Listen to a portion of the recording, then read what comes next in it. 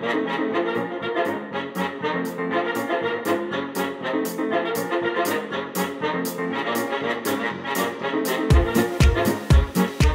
So, it's finally here, the HP Reverb G2. I know I've been extremely excited about this headset in particular, and I know a lot of you have been as well. I've seen hundreds of comments and questions about it in stream, and now I finally have it in hand. In case you don't know much about the headset, let me go over the basics. This is the generation 2 of the HP Reverb, hence the name HP Reverb G2. The first Reverb came out last year, and even though the name and resolution are the same here, literally everything has changed changed on this headset. New and improved displays, 4 tracking cameras versus 2, a Valve designed head strap that is extremely similar to the Valve Index, and same goes for the audio, the same great off-ear speakers as the Index. And also, Valve designed these lenses. Also new are these controllers with an industry standard button layout. I've been using this headset non-stop since I got it earlier this week, and I have some interesting feelings about this headset. Just like always on this channel, this is a first impressions video, not a full review just yet. I like to have at least a couple weeks with a headset before I make a solidified review because things can definitely change. But these are the impressions from someone that no life's a Valve Index, and I will go over tracking, comfort, the viewing experience, and talk about a kind of big problem that I had here. To give some context, I have just about 2,000 hours on an Index, and I feel like this is the perspective where we should be coming from. This headset, the Reverb G2, is an enthusiast device and serves as either an upgrade from a Rift S or a similar headset, or or as a sort of side grade from an index. Whether you're hardcore into Sims, VR chat, or other games, or you're a VR productivity person, the question is up in the air whether the G2 is right for you. So just jumping right into it, the unboxing is pretty normal. No frills packaging, and in the box you get the headset, cable, power adapter, controllers, and a USB to USB-C adapter. And a DisplayPort Mini to DisplayPort adapter, so this can work with laptops, and some paperwork of course. I will say for transparency's sake, this headset was sent to me to review by HP, and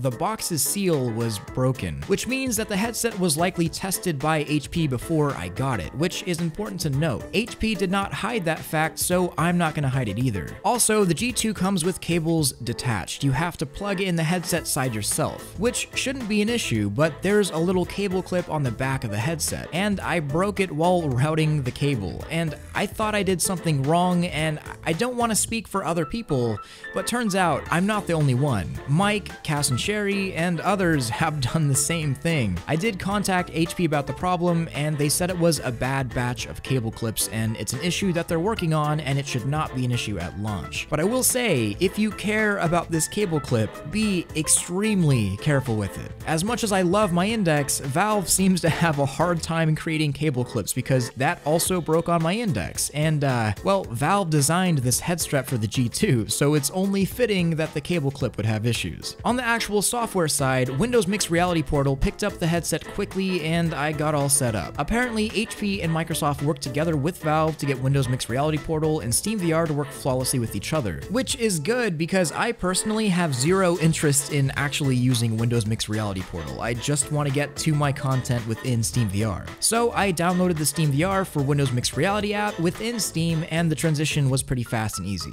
Getting into Steam games was easy as well, just click it to launch it like always. And I gotta say, the visual experience with the G2 is fantastic. Probably, actually not probably, definitely the clearest display and lenses I've personally ever used in a VR headset. Looking at anything is really beautiful and the colors do pop, and this LCD panel has some pretty good contrast, better than the Index for example. One thing I do in VR almost daily is stream, and that means I have a chat window open with tiny text that I'm reading while in VR. And so many times I screw up names just because sometimes it's kind of hard to read small text while in VR. But that sort of issue is gone with the G2. I can read it from really far away and the detail is kind of jaw-dropping. It blows my mind that we can have something this clear when just three years ago, the Oculus Rift CV1 and HTC Vive were the industry standards. And those headsets honestly look like a muddy screen door compared to the G2. The clarity and displays are hands down the best part of this headset, and it is industry leading at this price. But I will say, this is not without compromises. The field of view on the G2 is not impressive, and going between the Index and G2 is very noticeable. I personally have always been someone that prioritizes a wider field of view over super high resolution, and if you're like me, I slam my lenses on my Index right up to my eyebrows just so I could get the highest FOV possible. And going to the G2, it's going to feel like you have binocular vision if you're used to the Index FOV. However, this isn't to say that the FOV is any worse than the Quest 2 or Vive or Rift. It is pretty standard. It's not worse than any of those headsets. But if you're looking at specifically the Index versus Reverb G2, it's really a matter of picking which is more important to you, better visual clarity or better field of view and refresh rate. For me, it's kind of a mix-up. I love the clarity. Edge to edge, there's no screen door effect. God rays are minimal most of the time, and the sweet spot is pretty large, and there's manual IPD adjustment from 60 to 68 millimeters, but being able to see more on the Index is really nice still. One thing that is not a mix-up though is tracking quality and controllers. I'm gonna talk hard about tracking in just a second, but first I want to talk about these controllers. These are new for Windows Mixed Reality, and the buttons feel pretty nice. They're clicky, the thumbstick feels smooth and is not grainy, the triggers do their job,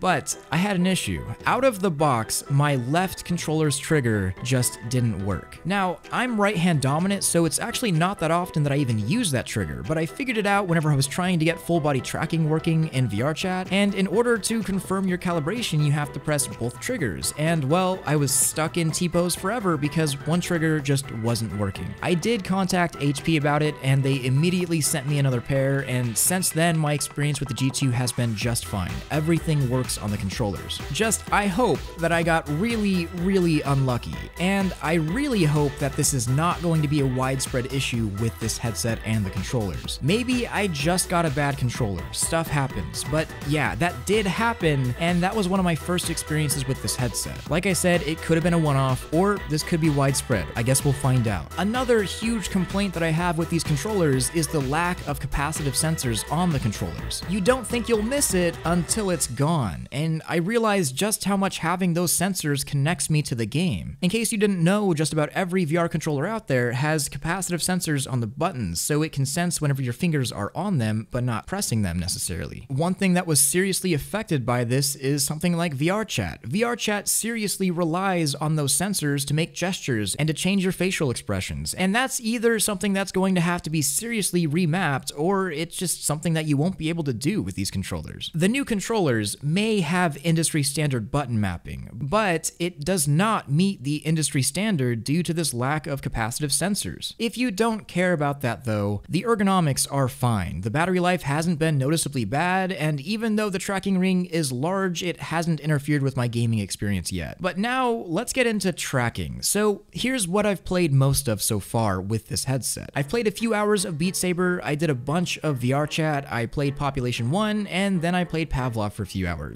And how good is the tracking? Well, it's not terrible. It's far better than anything like the HTC Vive Cosmos, and it's better than any Windows Mixed Reality headset I've used in the past, but it's not nearly as good as something like the Rift S, Quest or Quest 2, or Vive or Index. The tracking volume isn't all too bad, I'll show you where you lose tracking. Basically, if your hands are either in front of you or anywhere to the direct sides, then the tracking quality is fine, but above your head and you lose it quickly, and and the worst offender is having the controllers down at your sides. I notice this especially in Beat Saber and VRChat. A lot of times if I'm just standing there and my hands are at my sides, the controllers will lose tracking and my avatar gets all stiff. Now this makes sense, there are four cameras on the headset, two in front and one on each side, so it just can't see anything below, and it's a big dead spot. You have to be looking at your hands for them to be tracked essentially if they're not on the sides. Also, the occlusion was not great. Playing Population 1 or Pavlov and holding guns two-handed made the controller in front drift quite a bit as it lost tracking, but is it usable? Absolutely. Is it optimal? No. However, it is an upgrade over anything that Windows Mixed Reality has had before, and I'm probably spoiled by the Quest 2 and Quest and Index tracking. They are noticeably better. And I should note that these tracking algorithms get better over time with updates. If you compare the Quest tracking at its launch to its tracking now, it's significantly better. So I can imagine that the tracking tracking will improve in future updates, but until I see it, the tracking is definitely usable, but not great, and will be frustrating in many games, especially if you're used to other tracking methods. In terms of high-level Beat Saber play though, I think it is usable, but probably not the best option available. Basically, usable, but could be better. Also, I want to throw this in regarding microphone quality. It doesn't sound bad, but the Index does have it beat. Here's a microphone test between the Index Quest 2 and Reverb G2. This is a microphone test with the HP Reverb G2. Testing the microphone on the Oculus Quest 2. Testing the microphone on the Valve Index. I did have to decrease my output volume to 50% for it to sound right. Apparently there's some weird overblown bug that I haven't personally experienced, but Eric for President has, and here's a clip of what that looks like. Um, Someone with a real mic can say it. This is something that you'll have to adjust in settings, and it does seem like a software glitch at this moment. The onboard audio is fantastic. The Index and Reverb G2 share the same amazing audio drivers, and they're honestly best in class for spatial audio, clearness, bass, and presence on any VR headset. If you care a lot about audio, this is a huge selling point. I love these speakers. They're literally the exact same thing as on the Index with a slightly different housing. So, my impressions. I still have a lot more testing to do, but generally, I'm very impressed with the video quality and clarity. The comfort and audio are top notch, but the controllers and tracking quality leave much to be desired. If you're hardcore into games like Pavlov or Population 1 or Onward, the tracking is just not optimal. If you're big into VR chat, well, same, plus you don't have capacitive sensors. But if you're into Sims or you play games a little more casually, or you don't really care about being super competitive in something like Onward or Pavlov, or you don't mind working with the tracking, then this is a really good headset still for the most part. For me though, and this is what you'll see more of in the actual review, is just using the headset alone and using base stations to use knuckles and Vive trackers. That eliminates the worst qualities of the G2, which is the tracking and controllers, and replaces it with the Index's best qualities. And if you want that exceptional video quality that you see on the G2, that's not a bad option and it's pretty easy to do. Maybe I'll make a video on how to do that in particular because that's probably the best way to experience this headset. Knuckles, Vive trackers, base stations, and the G2 as the headset. Will it replace my Index forever? I'm not sure yet. But is the G2 an Index killer in general? I don't think so personally. I still have to get way more time with it, but as of now, I feel like it falls short in too many areas to make the Index irrelevant. The answer isn't cut and clear between the two if you're trying to decide between them, just like how the answer isn't clear between the Quest 2 and this headset. It's not a clear recommend over anything unless you are a specific type of user. If you prioritize clarity over everything, then, well, the answer is uh, clear, no pun intended. But if you care about literally anything else, then that answer gets a lot harder. So far, the G2 is not a bad headset, and I'd actually say it's pretty good. And if the side grade for Index owners or Vive owners is something you want to do, I'd probably recommend that. And for this reason, I wish that HP actually sold the headset alone without the controllers for cheaper for that exact reason, but I don't know if that's actually to happen. So I'm to spend another couple hundred hours with this headset and see how my ideas change on it, using both the Valve Index controllers and the controllers it comes with. And I will be streaming with the G2 on Twitch today, so come on by and ask any questions that you have. Also, join up in my Discord server and we'll talk more about it there as well. I want to thank all of my Patreon supporters, especially my Omegas like Benji, Biz, CPCJ79, Dented Melon, Elijah, Fusion Oak, HCG Randon, KR, Chaotic, Ronzarelli, That Brock Guy, True Killa, Very Evil Shadow, Suwu Side, and XD Cloud. I couldn't do any of this without you. Don't forget to like this video if you loved it, subscribe if you want more of this, and hit that freaking bell if you just can't live without it. Much love, Thrill out.